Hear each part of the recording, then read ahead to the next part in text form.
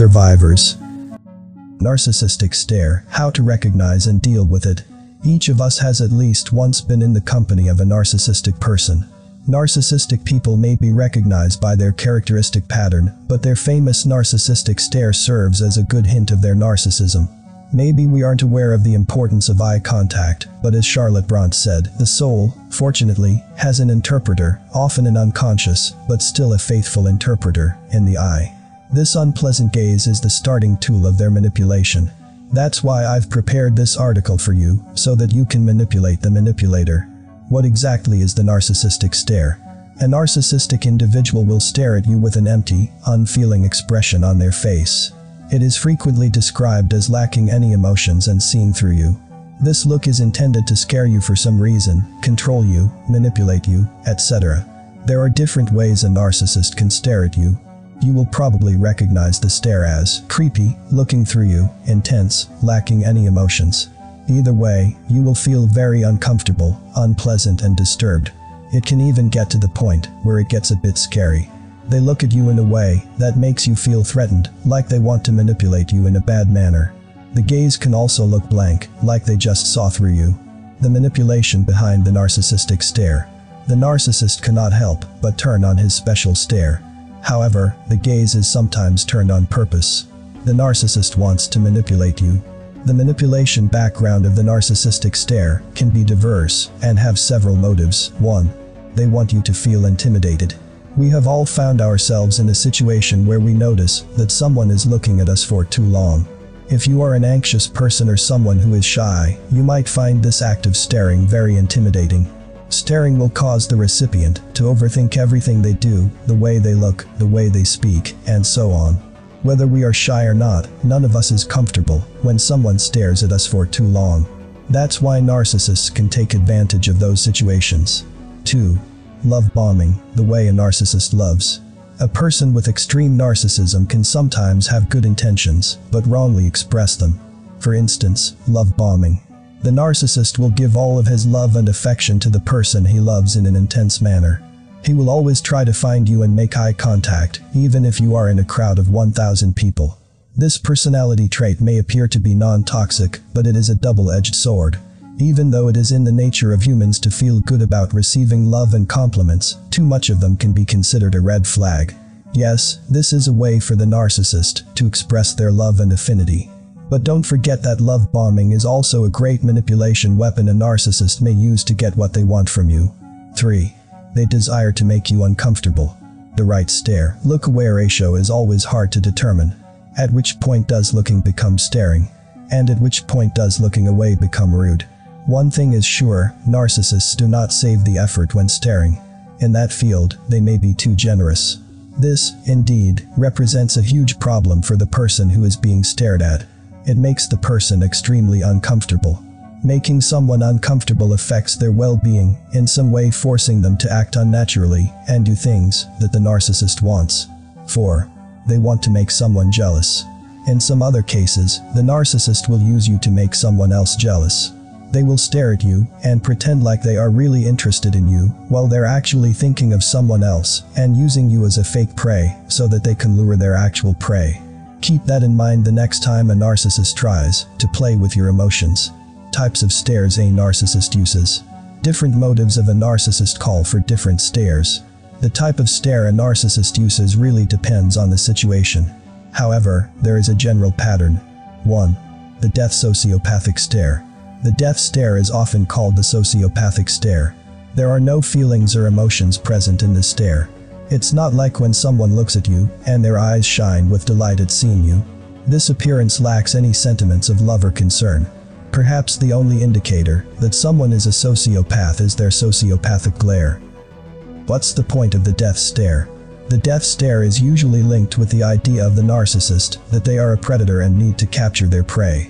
This stare is a powerful body language cue, since the narcissist thinks that their prey will literally be amazed and thrilled with his gaze. They use it to manipulate people more easily and cleverly. When staring, the prey will be aware that they are the next victim, which will cause the person to become nervous and unable to look away. How to recognize the death stare. You will recognize it as pure evil gaze. This pure evil description is associated with dilated pupils. You can literally see the darkness in the narcissist's eyes. Behind this darkness is a simple biological explanation. Pupil dilation happens due to anger. The narcissist becomes angry, and this triggers the sympathetic nervous system which dilates the pupils. Other indications of anger include fast breathing, high blood pressure, and high adrenaline levels. This leads to a characteristic pattern which can be recognized. If you ever saw jealous Joe Goldberg in the series You, then you definitely know what I am talking about. 2. The intense stare. You would be surprised to know how much you can learn just by looking at someone. However, to do so, one must be devoted and motivated. The motivation can come from different backgrounds. What's the point of the intense stare? The characteristic of this stare is that it does not have to be expressed only by narcissistic people. Normal people might express it as well. Whether we are talking about a narcissistic person or a normal one, both of them want to figure out the emotional state of the receiving end, or just give you a hint that they are in some way interested in you. Ultimate goal. They must closely observe you in order to determine whether you are vulnerable and catch every hint and feeling, but also every tiny detail about you in order to imitate your actions. This will lead them to their ultimate goal, for you to notice and like them back. Narcissists have invested in their acting, so now it becomes impossible to distinguish between narcissists and normal people making an intense stare. However, when and if they approach us, a few minutes of conversation can help us find that out. No worries, narc traits are obvious. At least if you read this article. Narcissistic Personality Disorder, NPD. Narcissistic Personality Disorder, NPD, is a type of mental disorder. Vanity and selfishness are only the tip of the iceberg when it comes to NPD. Some narcissistic traits include 1. Minimizing the worth of others devaluation of others. 2. Lack of empathy. 3. Showing no respect to you. 4 having higher self-esteem.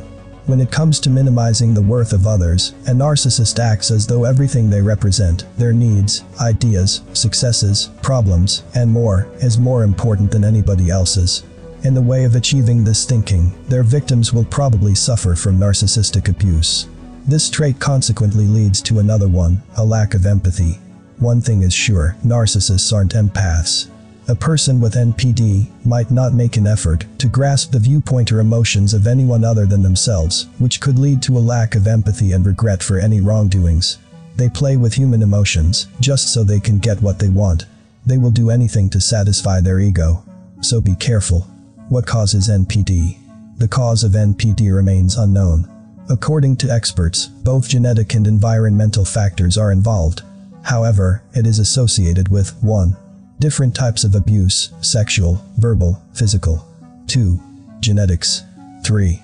Relationships with parents and friends during childhood. 4. Being overly adored without any particular reason in real life etc. How to deal with a narcissist. It is pretty easy to remove a narcissist from your life when the narcissist is just another random person. But, how do you deal with a situation? What's the point of the death stare? The death stare is usually linked with the idea of the narcissist that they are a predator and need to capture their prey.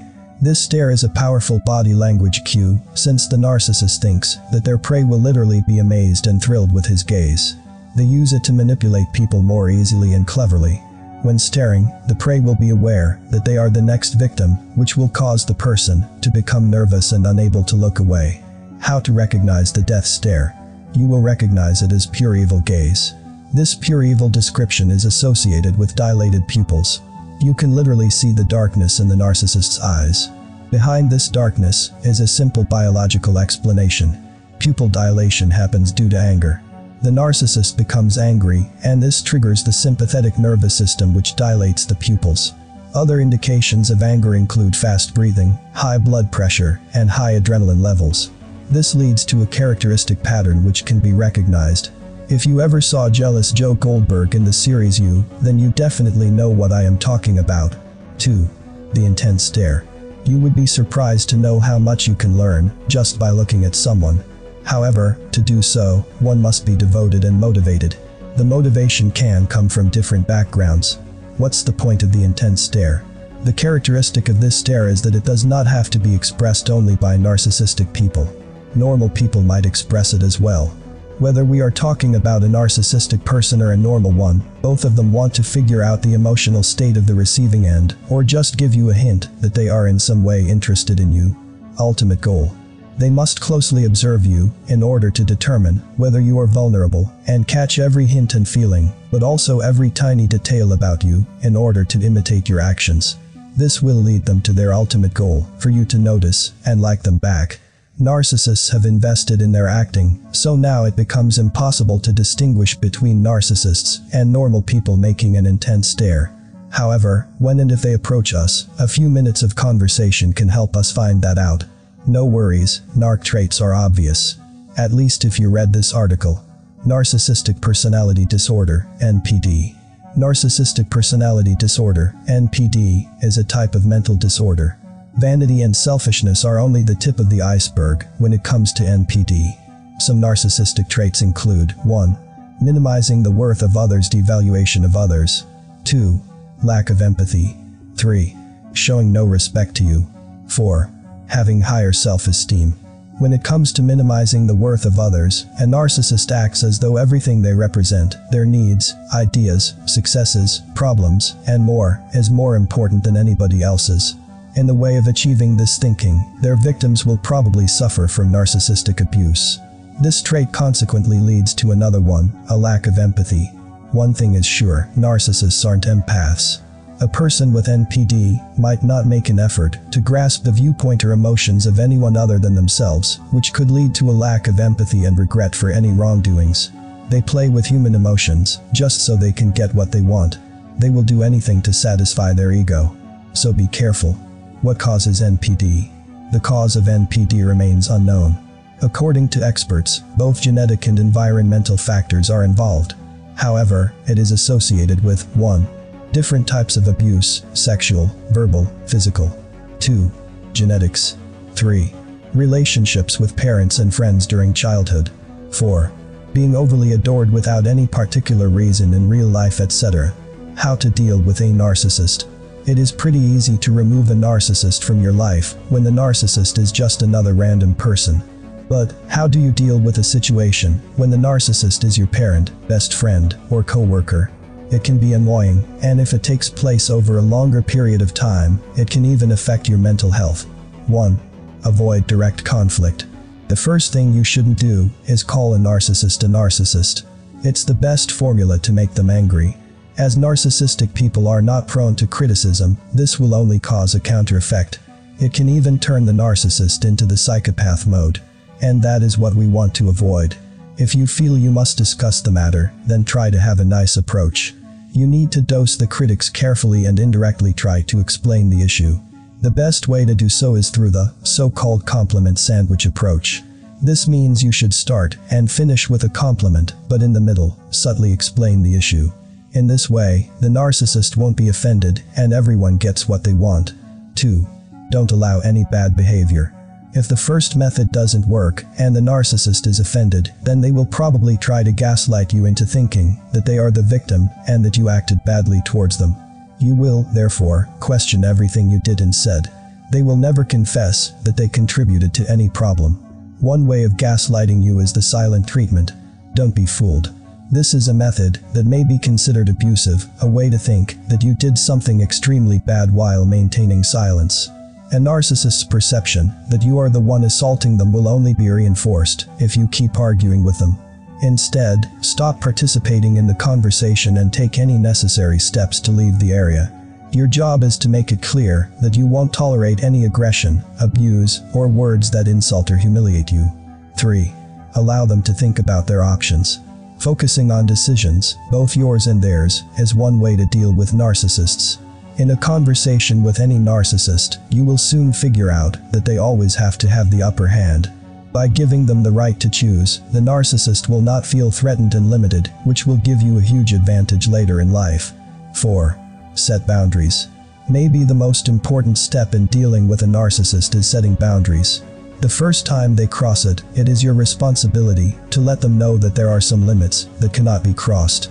Don't be afraid to do so, since this will be an important step in protecting yourself and your feelings. Make sure they are familiar with the consequences of crossing the boundaries and how you will respond to crossing them.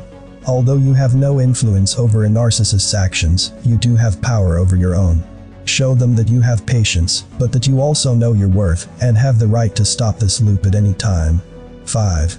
Other ways of dealing with a narcissist. When none of the above mentioned methods help, then it's time to seek some professional help.